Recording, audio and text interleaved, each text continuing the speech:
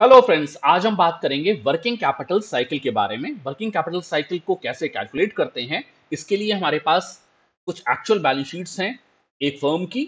तो इस फर्म से जो रेलेवेंट फिगर्स हैं, जो ज़रूरी फिगर्स हैं, इस बैलेंस शीट से वो हम उठा के इस एक्सेल शीट में भरेंगे और हमें पता चलेगा कि इस फर्म का वर्किंग कैपिटल साइकिल पिछले दो सालों का क्या रहा है। इससे पहले हम बात कर लेते हैं वर्किंग कैपिटल साइकिल आखिर होता क्या है। वर्किंग कैपिटल साइकिल का मतलब होता है कि कोई फर्म जब काम कर रही है तो उसे पहले मान लीजिए कि एक यूनिट है जो कि मैन्युफैक्चरिंग लाइन में है। अब वो सबसे पहले क्या करेगी? सबसे पहले रॉ मटेरियल परचेज करेगी। इसमें उसको कैश लगेगा। वो कैश को लगाकर रॉ मटेरियल परचेज करेगी। रॉ मटेरियल से वो एसआईपी में कन्वर्ट करेगी। एसआईपी में कन्वर्ट करने के बाद फिनिश गुड्स में कन्वर्ट होगा। फिनिश गुड्स में कन्वर्ट होने के बाद में ये जो वो माल तैयार करेगी, वो मार्केट में जाएगा सेल्स के लिए। सेल्स होने के बाद ज़रूरी नहीं है कि सारी की सारी सेल्स कैश में हो जाएँ। हो सकता है कुछ डेटर्स भी क्रिएट हो, कुछ माल उधार में भी बेचना पड़े, कुछ ट्रेड रिसीवेबल्स क्रिएट हो। अब सेल होने के बाद में रिसीवेबल्स क्रिएट हुए और रिसीवेबल्स ने कुछ समय के बाद जैसा भी बायर और सेलर के बीच में अग्रीमेंट होता है, उसके हिसाब से रिसीवेबल्स ने कुछ समय के बाद पेमेंट किया और ये वापस कैश में कन्वर्ट हुआ। तो कहानी यहाँ कैश से शुरू होती है, शुरू होती है जब एक यूनिट रॉ मटेरियल परचेज करती है और फाइनली जब रिसीवेबल से कैश आ जाता है तो ये जो पूरा पीरियड होता है कैश से वापस कैश में पहुँचने तक, इसे ही वर्किंग कैपिटल साइकिल या कैश कन्वर्जन साइकिल कहा जाता है। अब इसमें होता क्या है? हमें वर्किंग कैपिटल साइकिल कैसे कैलकुलेट करना है? आसान भाषा में हम समझ लेते हैं। पहले वर्किंग कैपिटल साइकिल के लिए हमें क्या करना है कि मान लीजिए कि कोई फर्म जो है, वो रॉ मटेरियल परचेज करती है, उसके बाद रॉ मटेरियल से एसआईपी बनाती है एसआईपी से फिनिश गुड्स बनाती है, इस पूरे पीरियड में मान लीजिए कि पंद्रह दिन लग जाते हैं। इसके बाद इस माल को वो अपने डिस्ट्रीब्यूटर्स के पास भेजती है और रिटेलर्स के पास भेजती है और इस पूरी प्रक्रिया में यानी ट्रांसपोर्टेशन में और दो दिन का समय खर्च हो जाता है। तो ये हो हो गए टोटल सत्रह दिन। सत्रह दिनों के बाद में मान लीजिए कि ये माल बिका और बिकने के बाद रिसीवेबल्स ने जब, जो रिसीवेबल्स हैं यानी कि जो डेटर्स हैं, उन्होंने जो पैसा दिया मान लीजिए कि तीस दिन में वो पैसा दिया। तो हुआ क्या? सत्रह दिन और तीस दिन, ये टोटल नंबर ऑफ़ डेज़ हो गया फोर्टी सेवन डेज़ तो इसका मतलब हो गया कि जो पूरा कैश कन्वर्जन साइकिल अगर हम सिंपल भाषा में समझें तो करीब 47 डेज़ का कैश कन्वर्जन साइकिल या वर्किंग कैपिटल साइकिल इस फर्म का बनता है। अब इसमें इस फर्म को एक फ़ायदा भी मिल सकता है वो ये कि हो सकता है जब ये रॉ मटेरियल को परचेज कर रही है तो जिनसे ये परचेज कर रही है, वहाँ से भी उसको क्रेडिट पे माल मिल जाता है, यानी कि उसे तुरंत उसमें कैश देना नहीं पड़ता। फॉर एग्ज़ाम्पल इसको पंद्रह दिन का क्रेडिट अपने सप्लायर से मिल जाता है। तो क्या होगा? इन 47 डेज़ में से हम 15 डेज़ और माइनस कर देंगे। तो जो कैश कन्वर्जन साइकिल हो जाएगा, वो 47 डेज़ माइनस फिफ्टीन डेज़ यानी कि 32 डेज़ हो जाएगा। तो ये तो था एक simple approach cash conversion cycle को कैलकुलेट करने की। एक्चुअली कैसे कैलकुलेट होता है, उसको समझ लेते हैं। चलिए, अब हमारे पास एक एक्सेल शीट है। हम इसमें क्या करेंगे? ये यहाँ तक, ये जो आई वाली रो है ओपनिंग स्टॉक से लेके क्लोजिंग रिटर्न्स तक की जो रो है, ये हम यहाँ पर हम फिगर्स को फिल करेंगे पिछले दो साल की। और इसके नीचे ये जो ब्लू वाले जितने भी फॉन्ट्स दिख रहे हैं, हमको कॉस्ट ऑफ़ गुड सोल्ड से लेके डेटर कलेक्शन पीरियड तक और साथ साथ वर्किंग कैपिटल साइकिल ये अपने आप कैलकुलेट होकर आ जाएगा। चलिए, चलते हैं बैलेंस शीट की तरफ़। इससे पहले एक चीज़ और देख लें कि यहाँ ये जो रेफरेंस लिखी हुई है, इसका मतलब है कि आपको ये जो फिगर है, वो मिलेगी कहाँ से? फॉर एग्ज़ाम्पल हम यहाँ बात कर रहे हैं फाइनेंशियल ईयर 2021-22 और फाइनेंशियल ईयर 2022-23 की। तो अब क्या करना है हमें?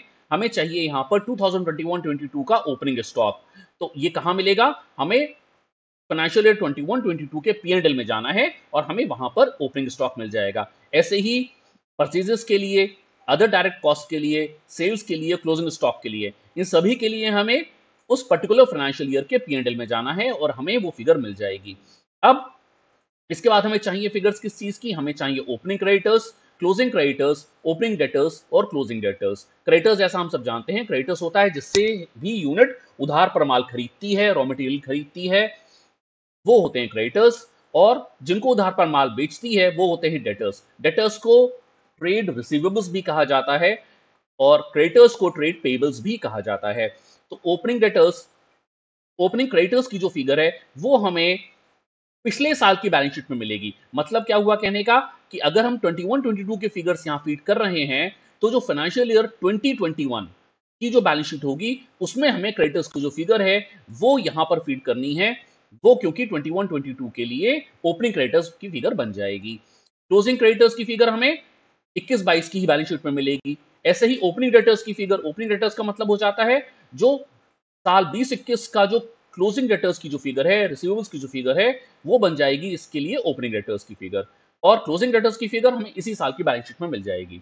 तो इस तरह से हमें अगर हमें ये इन दो सालों के की वर्किंग कैपिटल साइकिल निकालनी है कैश कन्वर्जन साइकिल निकालनी है तो हमें बेसिकली तीन सालों के फना, के फाइनेंशियल चाहिए होंगे तीन सालों की बैलेंस शीट पीरियड चाहिए होंगे वो तीन साल कौन कौन से हैं? 21 22 और 22 से तो है ही है. इसके अलावा 21 22 से ठीक एक साल पहले यानी कि हमें 2020 21 के भी फाइनेंशियल्स चाहिए होंगे। तो 2020 21 2021 22 और 2022 23 ये तीन साल के अगर फाइनेंशियल्स हमारे पास अवेलेबल हैं तो हम ये वर्किंग कैपिटल साइकिल कैलकुलेट कर सकते हैं। चलिए, अब हम बढ़ते हैं बैलेंस शीट की तरफ़। पहले हम देखते हैं कि हमारे पास कौन कौन सी बैलेंस शीट्स अवेलेबल हैं। हमारे पास ये है 2021 की बैलेंस शीट ये एक एक्चुअल बैलेंस शीट है। जैसा कि हमें अपने बैंक्स में देखने के लिए मिलती है, या अपने क्लाइंट से देखने के लिए मिलती है। एक 2021 ये है 2022 की बैलेंस शीट और ये है 2023 की बैलेंस शीट। चलिए, शुरुआत करते हैं 2021 से। 2021 से हमें क्या फिगर्स चाहिए? 2021 से हमें केवल दो ही फिगर्स की आवश्यकता है। वो है क्रेडिटर्स की फिगर और डेटर्स की फिगर जो हम यहाँ से, यहाँ पर इनपुट करेंगे। तो 2021 में जो क्रेडिटर्स की फिगर थी, वो हमें कहा मिलेगी? वो हमें मिलेगी लाइबिलिटी साइड में। ये देखिए, ये है आपके क्रेडिटर्स की फ़ीस फिगर जो कि 31 मार्च 2021 को फर्म के कितने क्रेडिटर्स थे। तो ये हमें फिगर यहाँ पुट करनी है। इससे हम, ये रुपीज़ में फिगर है, हम वहाँ अपनी एक्सेल में इसे लैक्स में पुट कर सकते हैं। तो ये बनता है 55.01 लाख तो हम क्या करेंगे? यहाँ ओपनिंग क्रेडिटर्स में डालेंगे 55.01 ऐसे ही डेटर्स की जो फिगर है, वो हमें मिलेगी एसेट साइड में।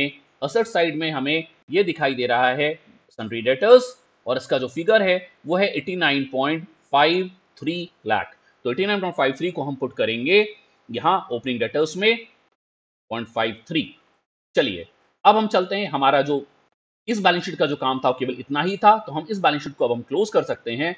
हम अब चलते हैं 2022 की बैलेंस शीट की तरफ़। तो 2022 की बैलेंस शीट से हमें क्या क्या फिगर्स चाहिए 2022 के पी से हमें क्या क्या फिगर्स चाहिए, वो देख लेते हैं। अब ऊपर से शुरू करते हैं। सबसे पहले हमें चाहिए ओपनिंग स्टॉक। तो ओपनिंग स्टॉक के लिए हमें जाना है पी में। तो पी में चलते हैं। पी के नीचे हमें मिलेगा। ये है आपका ट्रेडिंग एंड पी अकाउंट। तो इसके अंदर जो ओपनिंग स्टॉक की फिगर है फिगर है, वो आपको ये दिखाई दे रही है। ये तो इस फिगर को हम लैक्स में वहाँ डालेंगे। तो वो बन जाती है दो two point five six lakh तो टू पॉइंट फाइव सिक्स हम यहाँ डालेंगे ओपनिंग स्टॉक में। टू पॉइंट फाइव सिक्स इसके बाद हमें चाहिए परचेजेस की फिगर परचेज की फिगर ठीक इसके नीचे अवेलेबल है, जो कि है ये। इसे जब हम लाख में लिखेंगे तो ये हो जाएगा one one one one point one nine तो परचेज की फिगर हो गई one one one one point one nine इसके बाद है other direct cost other direct cost जो होता है, वो क्या होता है? ग्रॉस प्रॉफिट के पहले और परचेजेस को छोड़ के जो जो भी कॉस्ट इन्वॉल्व हैं, वो सब डायरेक्ट कॉस्ट का पार्ट होती हैं। जैसे कि हमें यहाँ वेजेस दिखाई दे रहा है। ये डायरेक्ट कॉस्ट का पार्ट है।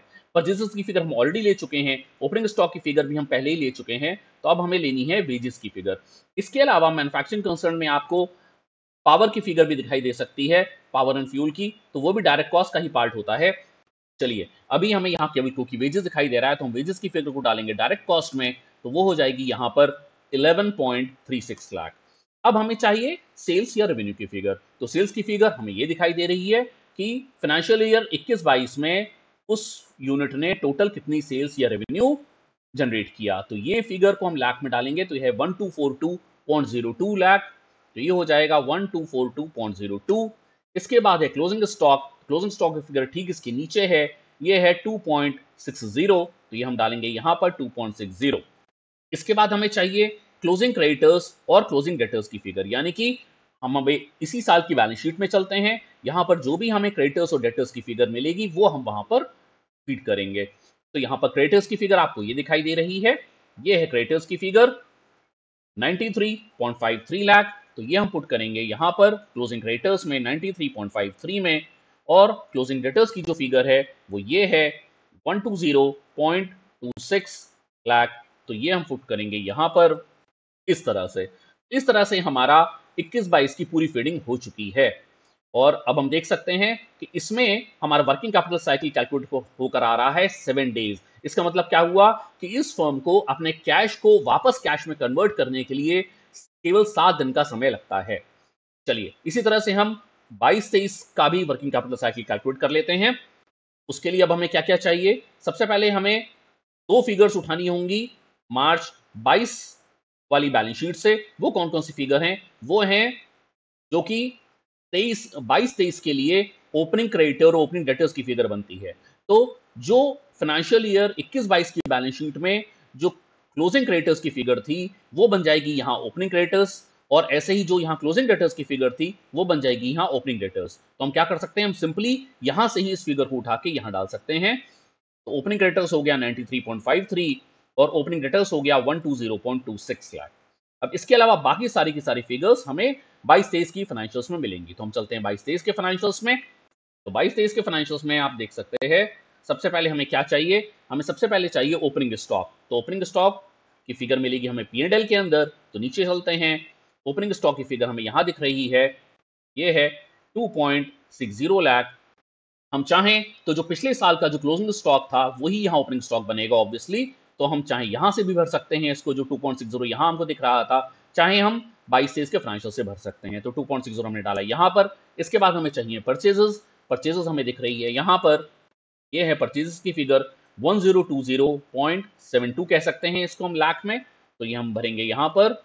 अब है अदर डायरेक्ट कॉस्ट तो अदर डायरेक्ट कॉस्ट में इस बार हमें दिखाई दे रहा है इलेक्ट्रिसिटी एक्सपेंसेस ट्रेड एक्सपेंसेस और वेजेस तो हम क्या करेंगे? इन तीनों का टोटल करेंगे। तो इन तीनों का टोटल जो है, वो हम यहीं पर कर सकते हैं। यहाँ पर हम डालेंगे क्या? यहाँ पर हम करेंगे प्लस का साइन और लेंगे हम सबसे पहले इलेक्ट्रिसिटी एक्सपेंसेस हैं, जो कि हैं 6.43 प्लस ट्रेड एक्सपेंसेस हैं 43.37 और वेजेस हैं 14.79 इन तीनों का टोटल हो जाता है 64.59 तो इस तरह से टोटल डायरेक्ट कॉस्ट जो बनी फाइनेंशियल ईयर बाईस तेईस के लिए वो बनी 64.59 लाख. इसके बाद हमें डालनी है सेल्स रेवेन्यू की फिगर वो हमें दिख रही है यहाँ पर. यह है हमारी बाईस तेईस की सेल्स या रेवेन्यू यह है 1186.75 तो ये हम डालेंगे यहाँ पर। इसके बाद है क्लोजिंग स्टॉक क्लोजिंग स्टॉक की फिगर ठीक इसके नीचे है हमारे पास, जो कि है 1.51 लाख तो वो हम डालेंगे यहाँ पर 1.51 इसके बाद है क्लोजिंग क्रेडिटर्स और क्लोजिंग डेटर्स की फिगर जो हमें मिलेगी बाईस तेईस की बैलेंस शीट में। तो बाईस तेईस की बैलेंस शीट की तरफ़ चलते हैं। तो बाईस तेईस की बैलेंस शीट में हमें करंट लाइबिलिटीज के अंदर मिलेगी क्रेडिटर्स की फिगर ये है क्रेडिटर्स की फिगर यहाँ पर। तो इसे हम लैक में लिख सकते हैं 129.78 तो ये फिगर आ जाएगी यहाँ पर 129.78 इसके बाद है क्लोजिंग डेटर्स क्लोजिंग डेटर्स हमारे, ये जो सन्डी डेटर्स की फिगर है, ये वाली, ये फिगर हम वहाँ पुट करेंगे। ये है 198.28 ये फिगर आ जाएगी यहाँ पर। इस तरह से अब हमें सारी फिगर्स फ़ीड हो चुकी हैं और वर्किंग कैपिटल साइकिल जो निकल कर आ रहा है, वो आ रहा है टेन डेज़ तो अब हम देख सकते हैं कि इस फर्म का जो वर्किंग कैपिटल साइकिल है, वो सात दिन से बढ़कर दस दिन हो गया है। यानी कि इस फर्म ने 21-22 में जो कैश का कन्वर्जन था इसका, वो सात दिन में हो जा रहा था। वहीं 22-23 में वो बढ़कर 10 दिन में हुआ। तो अब ये फ़र्क क्यों हुआ? अब इस पर थोड़ा एनालिसिस कर लेते हैं। इसमें मुख्यतः तीन चीज़ों से वर्किंग कैपिटल साइकिल निकलती है। जैसे कि मैंने यहाँ दिखाया हुआ है, ये है वर्किंग कैपिटल साइकिल जो होता है, वो है, होता है स्टॉक होल्डिंग पीरियड और स्टॉक होल्डिंग पीरियड में हम ऐड करते हैं डेटर्स कलेक्शन पीरियड और इसमें से माइनस करते हैं क्रेडिटर्स पेमेंट पीरियड इसका क्या मतलब हुआ? मतलब हुआ कहने का कि इस फर्म को कितने दिन का स्टॉक होल्ड करना पड़ता है, उसके बाद कितने दिन में डेटर्स इसका ऑन एन एवरेज पेमेंट कर रहे हैं, यानी जिनको ये माल बेचता है उधार पर, वो लगभग कितने दिन में इसका उधार चुका रहे हैं और इसको खुद कितने दिन का उधार मार्केट से मिल जाता है जब ये रॉ मटेरियल परचेज करता है, अपनी इन्वेंट्री परचेज करता है बाज़ार से। तो वो होता है क्रेडिटर्स पेमेंट पीरियड तो स्टॉक होल्डिंग पीरियड में हम ऐड करेंगे डेटर्स कलेक्शन पीरियड और डेटर्स कलेक्शन पीरियड में से और फिर इसमें से माइनस करेंगे क्रेडिटर्स पेमेंट पीरियड तो हमें निकल कर आता है वर्किंग कैपिटल साइकिल तो स्टॉक होल्डिंग पीरियड जो हम देख रहे हैं 21-22 में भी एक दिन का था और 22-23 में भी एक ही दिन का था। इसका मतलब क्या है कि स्टॉक होल्डिंग पीरियड तो इसका बहुत ही नॉमिनल है, बहुत ही कम है, बहुत ही फास्ट मूविंग इन्वेंट्री है इस फर्म की। ये फर्म अपने पास ज़्यादा समय की इन्वेंट्री रखती नहीं है और ये चीज़ हमें यहाँ से भी दिखाई दे रही है। यहाँ पर 21-22 में इसके पास जो स्टॉक था, लगभग ढाई लाख रुपए का था। 22 तेईस में लगभग ढाई लाख का ही स्टॉक था और जबकि इसका जो सेल्स था, लगभग यहाँ पर साढ़े बारह करोड़ थी और यहाँ पर लगभग साढ़े ग्यारह करोड़ थी। इसका मतलब है जो स्टॉक अपने पास है, वो फर्म ज़्यादा रखती नहीं है स्टॉक में ज़्यादा पैसा नहीं फंसाती है अपना ये। अब हम आ जाते हैं क्रेडिटर्स पेमेंट पीरियड पे, यानी कि अपने सप्लायर्स को लगभग कितने दिन में ये पेमेंट कर रही है। तो 21 बाईस में हमें दिखाई दे रहा था 21 बाईस में ये फर्म लगभग 24 दिन में सप्लायर्स को पेमेंट कर रही थी। वही पीरियड बढ़कर 40 दिन हो चुका है 22 तेईस में। इसका मतलब क्या हुआ कि इसको ज़्यादा दिनों का क्रेडिट अपने सप्लायर से मिल रहा है। इसका जो फेथ है मार्केट में, वो बढ़ गया है, इसकी अपनी रेपुटेशन बढ़ गई है, इसीलिए इसके सप्लायर्स को ज़्यादा दिन का क्रेडिट देने के लिए तैयार हैं। अब debtors collection period debtors collection period भी इकतीस दिन से बढ़ के उनचास दिन या थर्टी वन डेज़ से बढ़ के फोर्टी नाइन डेज़ हो चुका है। इसका मतलब इसे भी अपने बायर्स को ज़्यादा दिन के लिए उधार देना पड़ रहा है।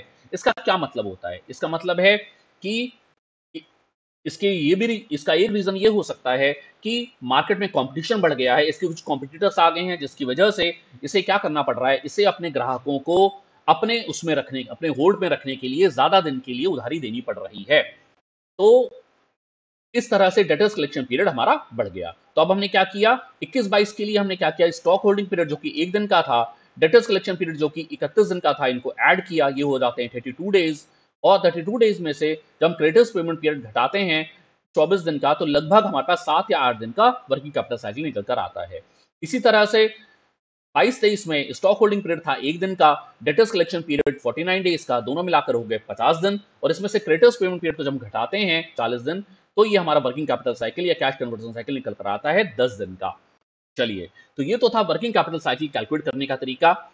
अब इसका जो एक इम्पैक्ट पड़ता है, वो हमारा जब हम कोई फर्म हमारे पास सीसी लिमिट लेने के लिए वर्किंग कैपिटल लिमिट लेने के लिए आती है तो उस पर भी इसका फ़र्क पड़ सकता है। कैसे पड़ सकता है, उसको समझते हैं, चलिए। देखिए यहाँ पर मैं एक ब्लैंक को खोल लेता हूँ कि मान लीजिए कि हम इसी फर्म की बात करें ये फर्म ने बाईस तेईस में सेल की करीब बारह करोड़ की और ये फर्म अब तेईस चौबीस में बोलती है हमसे कि तेईस चौबीस में ये हम्म, ये फर्म कहती है कि बाईस तेईस में अट्ठारह सौ यानी कि अट्ठारह करोड़ की सेल करेगी। अब क्या होता है? अगर हम जनरल सीसी लिमिट के नॉर्म्स से चलते हैं तो हम जो उसको लिमिट दे सकते हैं, वो टर्नओवर का 25 परसेंट तक दे सकते हैं। बशर्ते उसके पास, उसका वन फोर्थ यानी कि जितनी लिमिट हम देना चाहते हैं, उसका वन फोर्थ उसके पास मार्जिन अवेलेबल हो। अब टर्नओवर अगर उसने तेईस चौबीस में हमें टर्नओवर बोला कि प्रोजेक्टेड जो टर्नओवर है, तेईस चौबीस का, वो 18 करोड़ है तो इसका 25 परसेंट हो जाता है साढ़े चार करोड़। और मार्जिन जो अवेलेबल है, होना चाहिए फर्म के पास में, वो इस मार्जिन का, यानी कि इस जो 25 परसेंट का जो हमने निकाला है यहाँ पे टर्नओवर वो इसका 25 परसेंट यानी कि 450 का 25 परसेंट जो कि हो जाता है, लगभग ये 112.50 लाख इतना मार्जिन अगर अवेलेबल है उसके पास में तो हम साढ़े चार करोड़ रुपए तक की लिमिट उसको दे सकते हैं। लेकिन अब यहाँ पर एक चीज़ समझने वाली है वो ये कि जो 25 परसेंट का कॉन्सेप्ट है, ये आया कहाँ से? 25 परसेंट का कॉन्सेप्ट यहाँ से आया कि एज अ थम रूल या एज अ कन्वेंशन ये माना जाता है कि किसी बिज़नेस में 90 डेज़ का वर्किंग साइकिल होता है। मतलब ये है कि ऐसा मानकर चला जाता है कि कोई भी फर्म को अपने कैश को वापस कैश में बदलने के लिए लगभग नब्बे दिन का समय लगता है। तो इसीलिए यहाँ पर 25 परसेंट का टर्नओवर हम एक्सेप्ट करते हैं और उसके ऊपर हम वर्किंग कैपिटल की लिमिट को कैलकुलेट करते हैं। लेकिन यहाँ हमको ये दिखाई दे रहा है कि जो वर्किंग कैपिटल साइकिल है, वो इसकी लगभग दस दिन है। ठीक है? तो इस केस में अगर हम 25 परसेंट के हिसाब से नब्बे दिन का वर्किंग कैपिटल साइकिल के हिसाब से हम साढ़े चार सौ लाख की, यानी कि चार करोड़ पचास लाख लिमिट निकालते हैं तो फिर दस दिन का अगर वर्किंग साइकिल है तो फिर लिमिट कितनी होनी चाहिए? नब्बे दिन के ऊपर अगर चार करोड़ पचास लाख लिमिट बनती है तो टेन डेज़ की वर्किंग साइकिल यानी कि ये वर्किंग साइकिल वन नाइन्थ रह गई इसकी तो लिमिट भी वन नाइन्थ हो जानी चाहिए। वन नाइन्थ का मतलब हो गया four fifty divided by nine तो एक्चुअल जो लिमिट इसकी बननी चाहिए, लगभग पचास लाख रुपए ही बननी चाहिए, ना कि साढ़े चार करोड़ की। अगर आप इस पचास लाख से ज़्यादा की लिमिट दे रहे हैं तो आपको प्रॉपर जस्टिफिकेशन देना होगा कि हम इतनी ज़्यादा लिमिट क्यों दे रहे हैं, क्योंकि वर्किंग कैपिटल साइकिल के हिसाब से ये लिमिट पचास लाख से ज़्यादा की जस्टिफाई नहीं होती है। अगर आपके पास कोई वैलिड रीजन है ये मानने का कि इस फर्म का वर्किंग कैपिटल साइकिल बढ़ने वाला है, हो सकता है ये फर्म कोई नई प्रोडक्शन लाइन ऐड कर रही हो, नया प्लांट लगा रही हो, जिसकी वजह से वर्किंग कैपिटल साइकिल बढ़ रहा हो जिसकी वजह से इसको अपना स्टॉक होल्डिंग पीरियड बढ़ाना हो, अपना क्रेडिटर्स पेमेंट पीरियड कम करना हो या डेटर्स कलेक्शन पीरियड बढ़ाना हो। देखिए, तीन ही कारण हो सकते हैं वर्किंग कैपिटल साइकिल बढ़ने के। क्या क्या हो सकते हैं? या तो स्टॉक होल्डिंग पीरियड बढ़े। स्टॉक होल्डिंग पीरियड क्यों बढ़ेगा? कि ये फर्म ये चाहती है कि ज़्यादा स्टॉक अपने पास रखे, ज़्यादा स्टॉक खरीदने पर हो सकता है इसको कुछ डिस्काउंट मिलता हो। दूसरा, ये हो सकता है कि अपने क्रेडिटर्स को, जिसको ये चालीस दिन में पेमेंट कर रही थी, हो सकता है अभी फर्म चाहती हो कि उसको कम समय में पेमेंट कर दे, दस दिन में पेमेंट कर दे या एडवांस पे माल उठा ले। उसमें भी हो सकता है उसको डिस्काउंट मिल रहा हो। तीसरा, हो सकता है कि उससे अपने डेटर्स को अपने खरीदारों को ज़्यादा लंबा पीरियड देना हो पैसे देने के लिए तो उससे भी उसका वर्किंग कैपिटल साइकिल बढ़ जाएगा। यानी कि स्टॉक होल्डिंग पीरियड बढ़ने से या डेटर्स कलेक्शन पीरियड बढ़ने से वर्किंग कैपिटल साइकिल बढ़ेगा, वहीं क्रेडिटर्स पेमेंट पीरियड बढ़ने से वर्किंग कैपिटल साइकिल घटेगा। क्रेडिटर्स पेमेंट अगर कम होगा तो वर्किंग कैपिटल साइकिल बढ़ेगा। तो अगर आपके पास कोई वैलिड रीजन है फर्म कोई वैलिड रीजन आपको दे पाती है इस बात के लिए कि उसका वर्किंग कैपिटल साइकिल बढ़ने वाला है, इसलिए उसको ज़्यादा लिमिट चाहिए तो हम उसको ज़्यादा लिमिट भी दे सकते हैं उसके टर्नओवर के आधार पर। ये था हमारा वीडियो आज का वर्किंग कैपिटल साइकिल या कैश कन्वर्जन साइकिल कैलकुलेट करने के लिए। Bye bye and take care और हाँ एक बात और कि अगर आपको ये एक्सेल शीट की ज़रूरत है तो इसका लिंक आपको मिलेगा इस वीडियो के डिस्क्रिप्शन में। नहीं तो आप हमें मेल भी कर सकते हैं। एज यूजल हमारा मेल आईडी है finologist for all at the rate gmail dot com आप इस पर मेल करके भी हमसे ये एक्सेल शीट ले सकते हैं। Thanks for watching bye bye and take care